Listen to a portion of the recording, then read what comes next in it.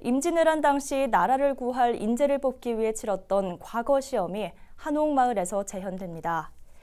전주시는 다음 달 20일 전주 전통문화연수원과 경기전 등 한옥마을 일원에서 제4회 1593 전주별시 재현 행사를 연다고 밝혔습니다.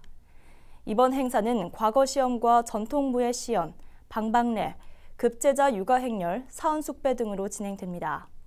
참여 방법 등 기타 자세한 사항은 전주 전통문화연수원 홈페이지를 참고하면 됩니다.